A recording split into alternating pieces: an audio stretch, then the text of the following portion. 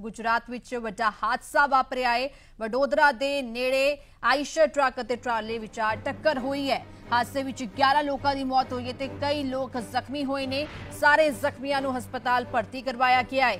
ਆਇਸ਼ਰ ਵਿੱਚ ਬੈਠੇ ਲੋਕ ਸੂਰਤ ਤੋਂ ਪਾਵਗੜ ਦਰਸ਼ਨ ਲਈ ਜਾ ਰਹੇ ਸਨ। ਇਸ ਦੌਰਾਨ ਉਹ ਹਾਦਸੇ ਦਾ ਸ਼ਿਕਾਰ ਹੋ ਗਏ ਤੇ ਮੌਕੇ ਤੇ ਹੀ 11 ਲੋਕਾਂ ਦੀ ਮੌਤ ਦੀ ਖਬਰ ਸਾਹਮਣੇ ਆਈ ਹੈ ਤੇ ਇਸ ਹਾਦਸੇ ਵਿੱਚ ਕਈ ਲੋਕ ਵੀ ਜ਼ਖਮੀ ਹੋਏ ਨੇ। ਤਾਂ ਗੁਜਰਾਤ ਵਿੱਚ ਵੱਡਾ ਹਾਦਸਾ ਵਾਪਰਿਆ ਹੈ। ਵਡੋਦਰਾ ਨੇੜੇ ਆਈਸ਼ਰ ਟਰੱਕ ਅਤੇ ਟਰਾਲੇ ਵਿਚਾਰ ਟੱਕਰ ਹੋਈ ਹੈ।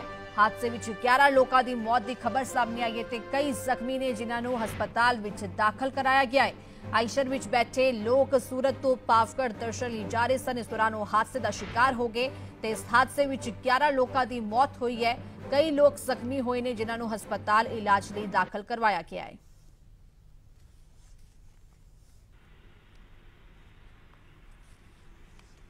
ਇਹ ਤਸਵੀਰਾਂ ਦਰਸ਼ਕ ਦੇਖ ਸਕਦੇ ਨੇ, ਗੁਜਰਾਤ ਵਿੱਚ ਵੱਡਾ ਹਾਦਸਾ ਵਾਪਰਿਆ ਹੈ। ਹਾਦਸਾ ਇੰਨਾ ਭਿਆਨਕ ਸੀ ਕਿ 11 ਲੋਕਾਂ ਦੀ ਮੌਤ ਹੋ ਗਈ ਹੈ। ਇਸ ਹਾਦਸੇ ਵਿੱਚ ਕਈ ਜ਼ਖਮੀ ਹੋਏ ਨੇ ਤੇ ਵਾਹਨ ਵੀ ਪੂਰੀ ਤਰ੍ਹਾਂ ਦੇ ਨਾਲ ਨੁਕਸਾਨਿਆ ਗਿਆ ਹੈ ਤੇ ਫਿਲਹਾਲ ਜ਼ਖਮੀਆਂ ਨੂੰ ਹਸਪਤਾਲ ਇਲਾਜ ਲਈ ਭਰਤੀ ਕਰਾਇਆ ਗਿਆ ਹੈ।